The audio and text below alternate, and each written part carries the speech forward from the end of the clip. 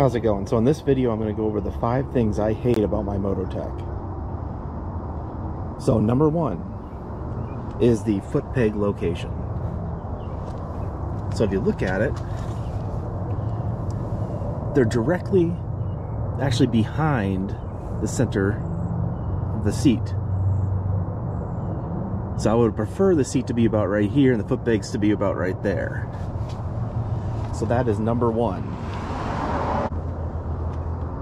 Number two, how soft the suspension is. I actually changed out the rear shock because I even adjusted it all the way and it still was just way too soft for a heavy rider. For a kid, no problem. But that is number two. Number three, the handlebars. So the original handlebars that came on it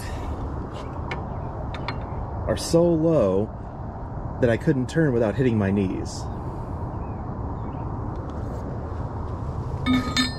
So that is number three.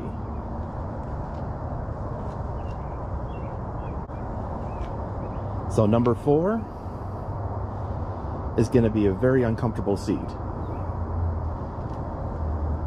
So the original seat was really stiff and really uncomfortable.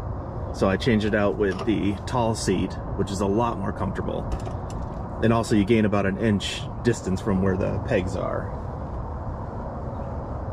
So that is number four. Okay, so the fifth and final problem I have with the Mototec is it's slow. You would think for 1500 watts that you get a lot of power and it would be quick. And yes, it gives you a lot of power just for a second, and then it kind of just slows down it's it really doesn't have that much power on the top end so it only goes about 20 or 23 so that is the five things I hate about my Mototec